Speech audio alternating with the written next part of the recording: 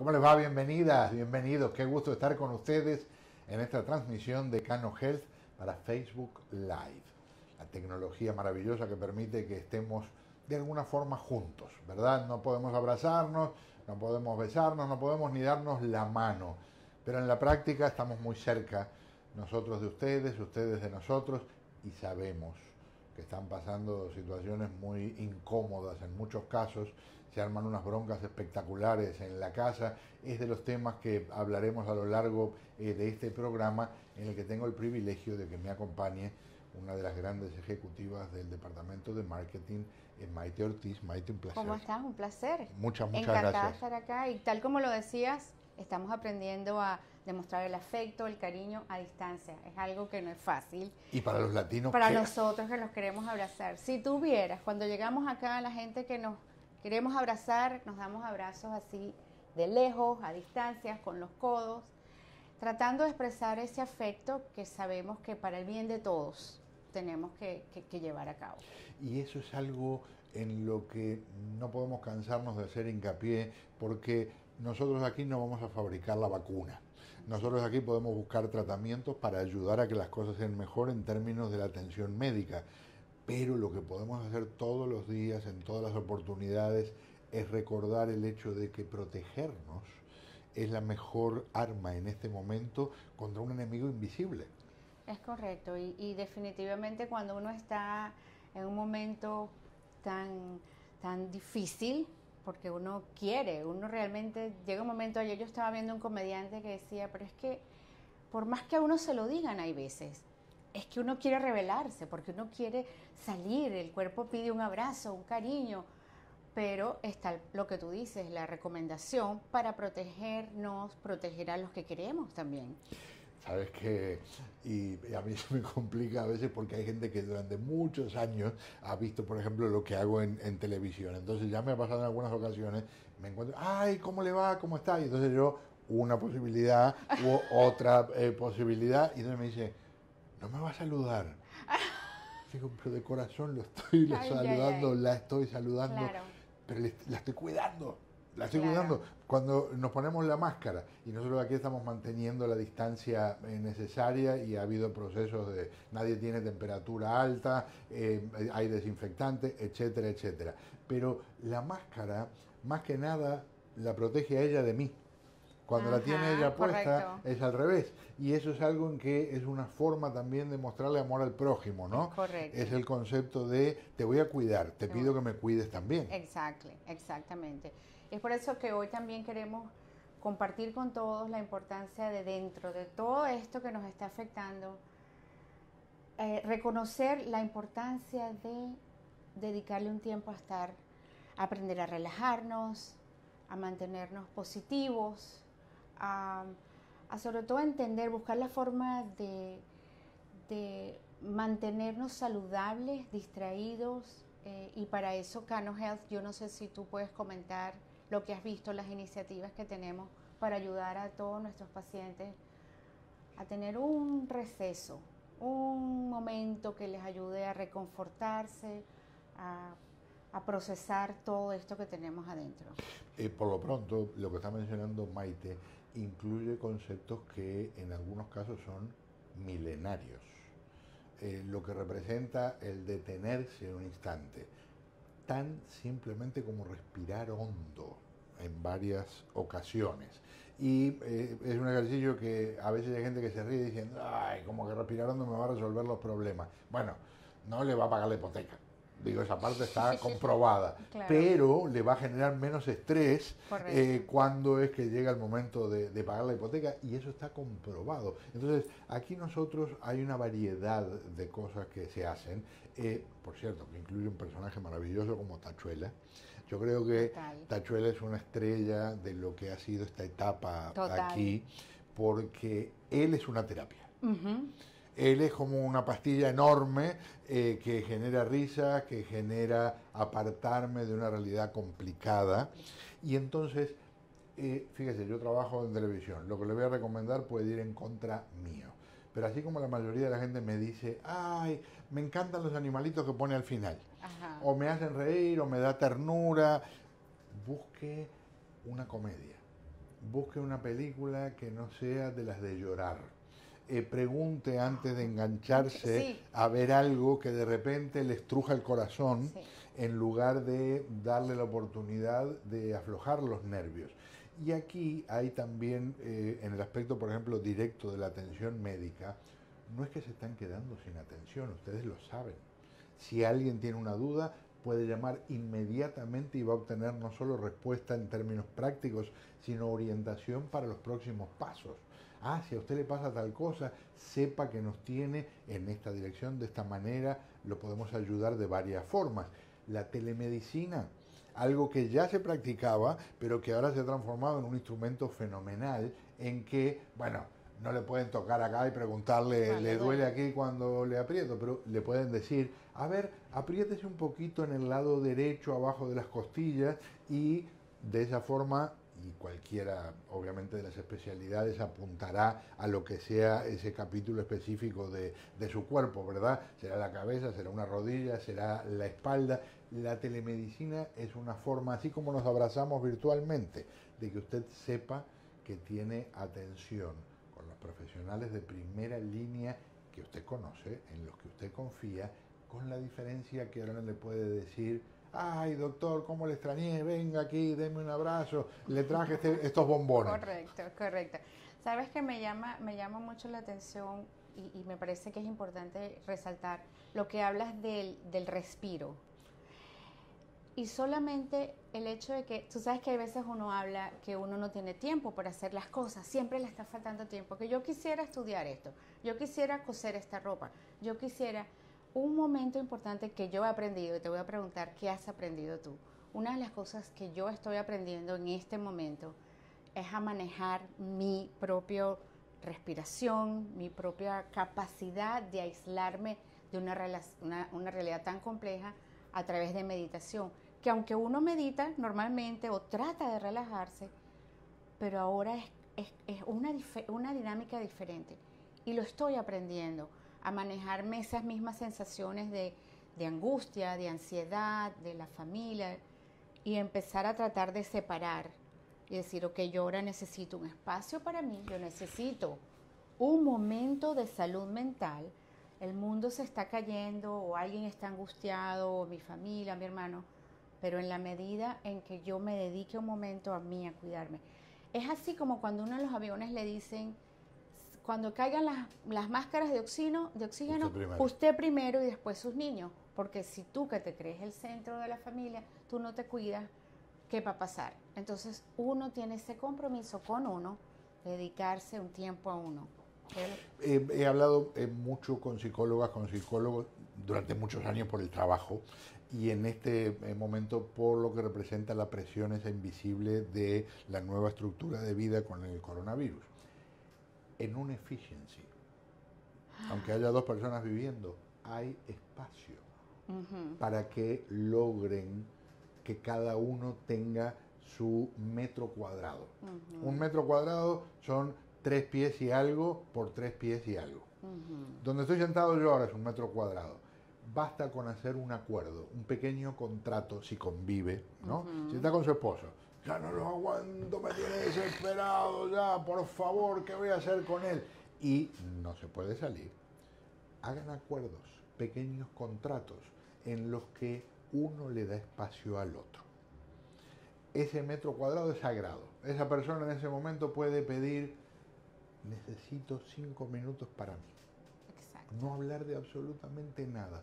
Cerrar los ojos, pensar en algo hermoso, pensar en cosas que se hacían y apostar a que pronto se puedan hacer otra vez, o simplemente imaginar un paisaje, un lugar del país de donde haya venido, o si nació aquí, un lugar donde una vez salió a pasear y le gustó.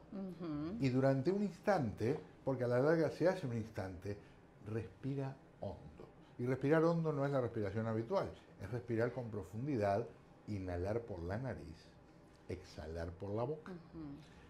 Si lo hace con los ojos cerrados, el ejercicio es mejor todavía. Y no tiene que hacerlo 18 veces.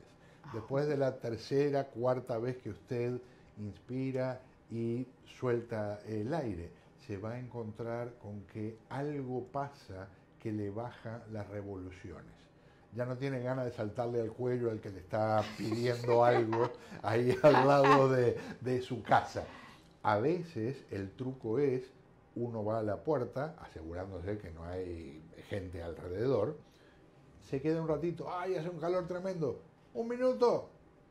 Se alternan de repente. El hecho es darse un poquito de, de espacio el mantener esa distancia que habitualmente cuando, por ejemplo, están los centros de bienestar abiertos, la persona viene, se entretiene, juega dominó, se pelea, se amiguea, eh, cuenta cosas maravillosas, se enamora.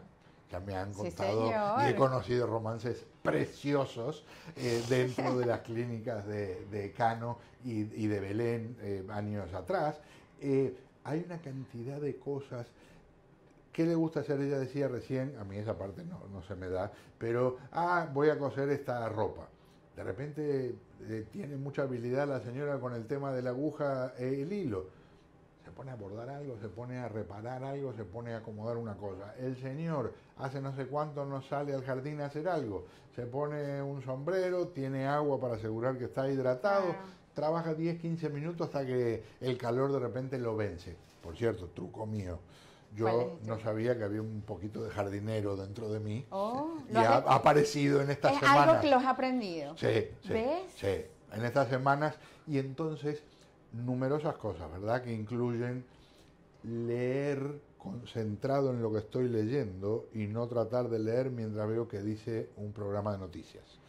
Hacer una cosa a la, a la vez. Y de verdad noto diferencia, se disfruta y por supuesto hago cosas que eh, no estaba haciendo en términos de actividad física, ¿no? Eh, así como también se come de más, que eso es algo que tengo que tratar de, resolver, que hasta el momento voy perdiendo, pero sí tengo más, eh, más actividad y a veces no es que dedico, ah, la próxima media hora es para el ejercicio. Cinco minutos, tres minutos y dentro de una hora tres minutos más. Exacto. Cuando quieres acordar a lo largo de, si estuviste en la casa cinco o seis horas, sumaste 15, 18, 20 minutos de una actividad que antes no era parte de la vida. Exacto.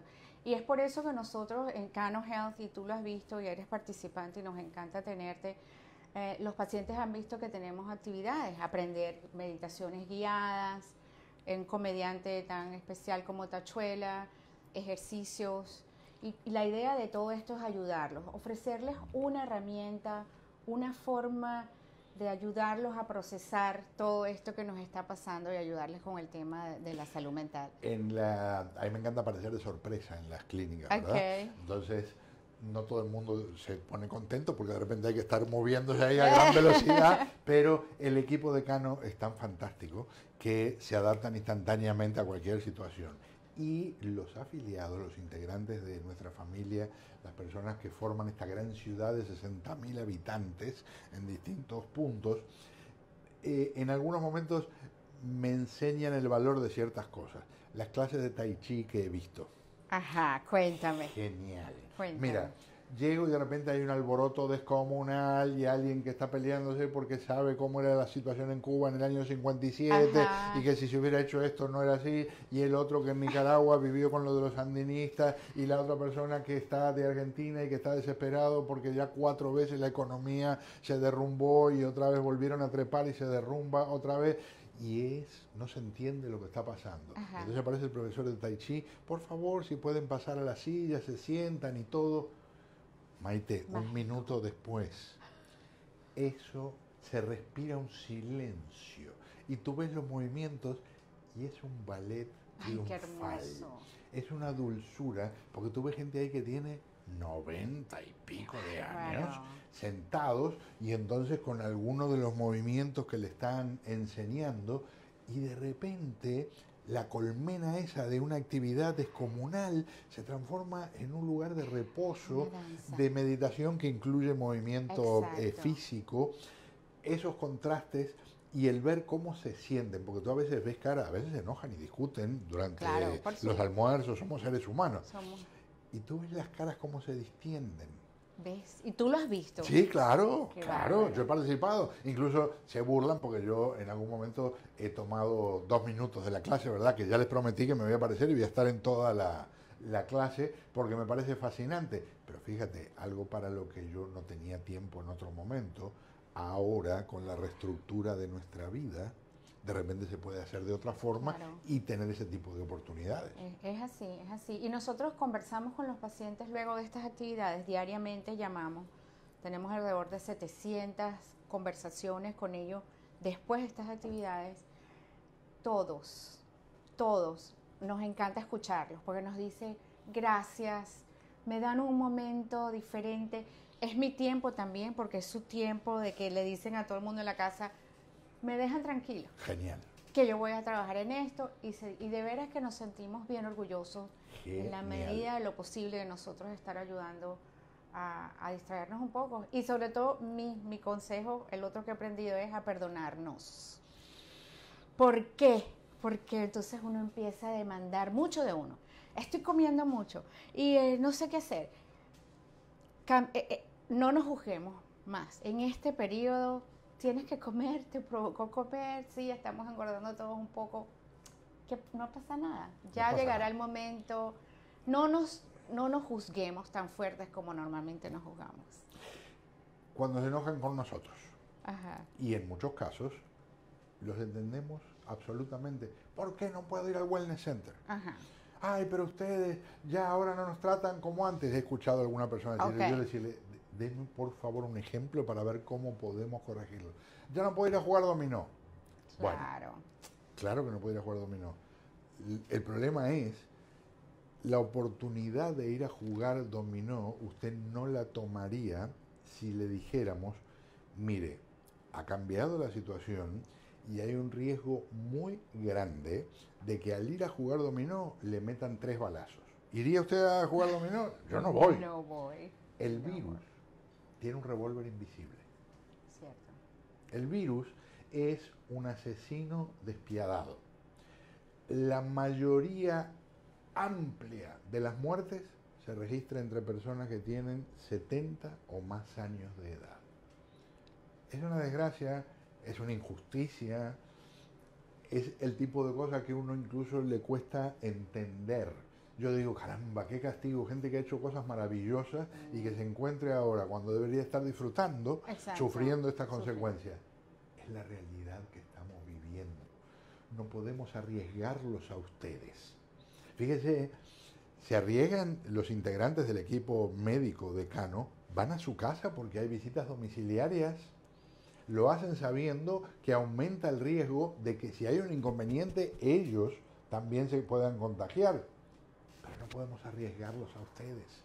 Tiene que ser en situaciones muy, serias o de urgencia o de las que no son electivas. Si es un dolor en un tobillo y todavía puede caminar pero le molesta, hay que hacer el esfuerzo, se pide la consulta, se puede hacer por telemedicina, pero no se puede venir a la clínica. Y si se puede, porque un médico evalúa que se hace necesario por el problema que sea que tenga, todavía no se puede disfrutar de los centros de bienestar. Ya quisiéramos. Por lo pronto yo lo que he disfrutado sirviendo almuerzos, encantado de la vida, para mí es un premio monumental. No podemos en este momento. Y sí, por supuesto, le ofrecemos disculpas porque nos encantaría.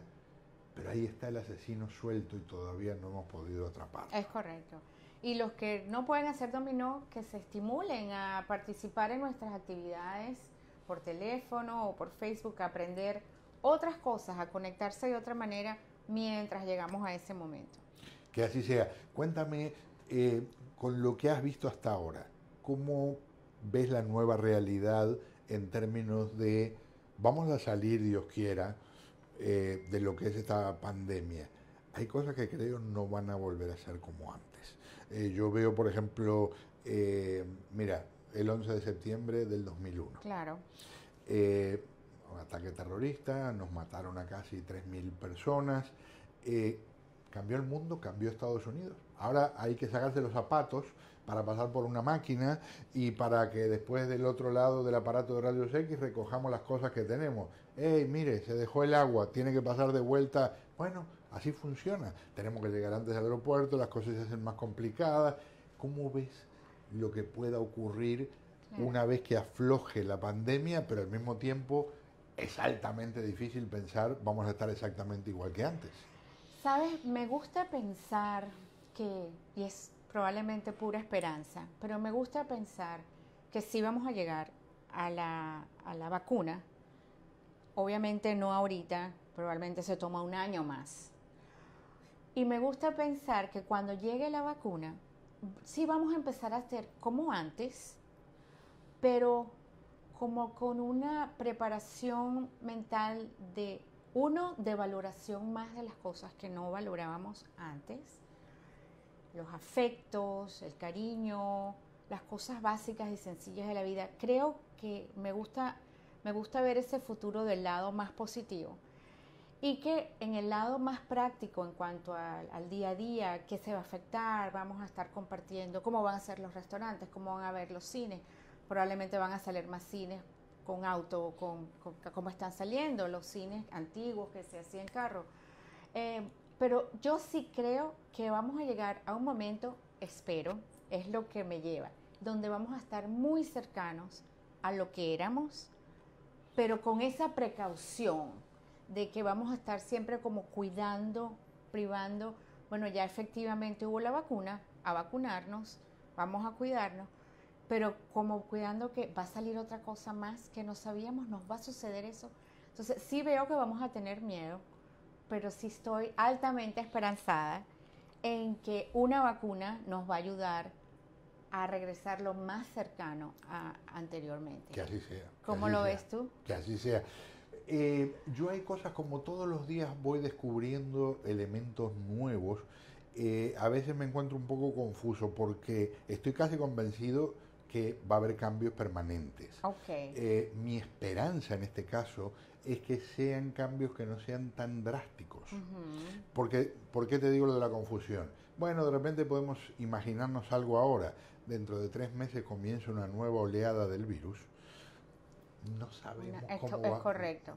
Pero, ¿qué, has pensado que pudiera ser permanente? Que... Bueno, eh, me da tristeza pensar que, por ejemplo, eh, se va a limitar eh, el acceso a las personas mayores de parte de los niños. Familiares. Creo que va a haber una distancia física que de una forma u otra se va a tener que mantener por mucho tiempo va a haber un trabajo muy intensivo con los niños en términos de cosas elementales como lavarse las manos cinco veces por día. Claro. Eh, los espectáculos en lugares cerrados durante mucho, tiempo, no van a ser lo mismo. Yo no me imagino 20, 30, 40 mil personas en un estadio cerrado. Eh, aquí tenemos el Miami Heat, por decir algo. Ni soñar que se va a poder ver en la misma circunstancia. Los Marlins sí. Los Marlins sí con el techo abierto. Si llueve, te das cuenta la cantidad de, variables. Claro. Y entonces va a tener que haber un proceso, yo creo, de educación eh, de modales. Ese es un buen punto. Eh, porque va a haber gente que tosa y el que esté al lado se da cuenta que la persona está resfriada, pero no sabe si está resfriada, y si esa persona no tiene una máscara para ponerse, va a haber un problema. Eh, hay ciertas cosas en los trabajos, mucha gente va a seguir mucho tiempo trabajando desde las casas. Correcto las empresas están rediseñando, ciertas cosas en la medida que ven que no necesitan a todo el mundo en el mismo lugar. Veo ese tipo de, circunstancias, ¿no? Eh, mencioné la palabra precaución hace un ratito, eh, Maite. El tema de la, de la mascarilla no salga tres metros fuera de la casa, salvo que sea el jardín de, su casa. Donde sea que vaya, se pone la mascarilla. Eh, lavarse las manos parece mentira, ¿verdad? No hay ningún tratamiento 100% confirmado que resuelva, pero lavarse las manos con agua y jabón de 20 a 25 segundos. Yo, por ejemplo, rezo el Padre Nuestro. Eh, a veces voy con el Ave María, depende. Y entonces eh, voy rezando, me voy lavando las manos y eso haciéndolo varias veces diarias tiene un efecto extraordinario contra virus y bacterias, por cierto. ¿no? Apartan muchas de, esas cosas. Y pensar lo que hablamos a lo largo de esta eh, conversación, que en instantes, mira, eh, se nos ha ido volando el, tiempo, en instantes ya vamos a, cerrar este programa, pero es muy importante el concepto de una, no bajar la guardia. te baja la guardia, el virus hay que cuidarse. Me gusta la pose. ¿Cómo es? No, sí. Me gustó. ¿Cómo es la cosa? Esa es la del boxeo. Exo. Hay otra, ¿verdad? Están la... Pero en todo No, hazlo otra vez, hazlo otra vez que me gustó. Esta es la boxeo. Ah, dile. No bajar la guardia. Hazlo, hazlo así, mirando a la cámara. No se puede bajar la guardia. No bajen la guardia, por favor. Una. Dos, me está cuidando a mí cuando se está poniendo la mascarilla y se está lavando las manos. ¿Me desea mal? ¿Verdad que no? ¿Verdad que quiere que las cosas anden bien conmigo? Yo le deseo a usted todo el bien del mundo. Por eso ando en cualquier lugar donde sea necesario hacerlo, con la mascarilla puesta y me lavo las manos que ya yo creo que cambié la piel como tres veces. Sí, sí, claro, claro. Un, gran placer tenerte aquí. Igual. Gracias, gracias. Un, gran gusto y seguiremos conversando a lo largo de estas transmisiones de eh, Facebook Live Allí está eh, Maite Ortiz despidiéndose con lo que tú le quieras decir a, nuestra familia. Gracias, estamos pendientes de ustedes. Hay un equipo que está con ustedes, aunque no los vean, aunque no estén cercanos, todos están pendientes de ustedes, pensando nuevas formas de ayudarlos a procesar este momento, de guiarlos con consejos, con recomendaciones. Así que nos vemos el próximo lunes. Muchísimas gracias por acompañarnos y aquí estaremos el próximo. En realidad estaremos todos los días, porque usted puede llamar por teléfono para cualquier inquietud. Pero en la próxima transmisión de Facebook Live, por ahora, el martes a las dos y media de la tarde. Un, gran abrazo, virtual, y muchas, muchas gracias. Yes.